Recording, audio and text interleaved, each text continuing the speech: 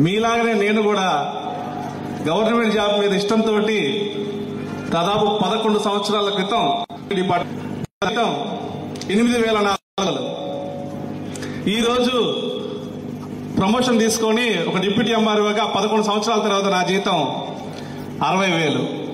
చూడండి ఇక్కడ స్టేజ్ మీద ఇప్పుడు యాభై వేలు దాటిన వాళ్ళు ఎంతమంది అంటే పది మంది దాకా వచ్చారు. కానీ వాళ్ళందరూ సంవత్సరం పనిచేస్తేనే యాభై వేలు దాటినాయి. నేను పదకొండు సంవత్సరాలు కష్టపడితే నా జీతం అరవై వేలు. సో లక్ష సంపాదించాలంటే మన ఎంఎస్ఆర్ చెప్పినట్టు ఇక్కడ సంవత్సరం ఉంటే లక్ష వస్తుంది అన్నారు నేను లక్ష సంపాదించాలంటే ఇంకా ఐదు సంవత్సరాలు పడుతుంది నా ఉద్యోగంలో. అది తెలియ చాలా మంది గవర్నమెంట్ జాబులు గవర్నమెంట్ జాబులు అని చెప్పేసి జాబుల కోసము టైం వేస్ట్ చేసుకుంటున్నారు. ఈరోజు నా క్వాలిఫికేషన్ ఎంఎస్సి. నేను ఎంఎస్సి చదివాను. సో గవర్నమెంట్ జాబ్ అయితే బాగుంటుంది. నా ఫ్యామిలీలో ఎవరికి జాబ్ లేదు గవర్నమెంట్ జాబ్ లేదు. మా నాన్న ఒక టాపీ మేస్త్రి.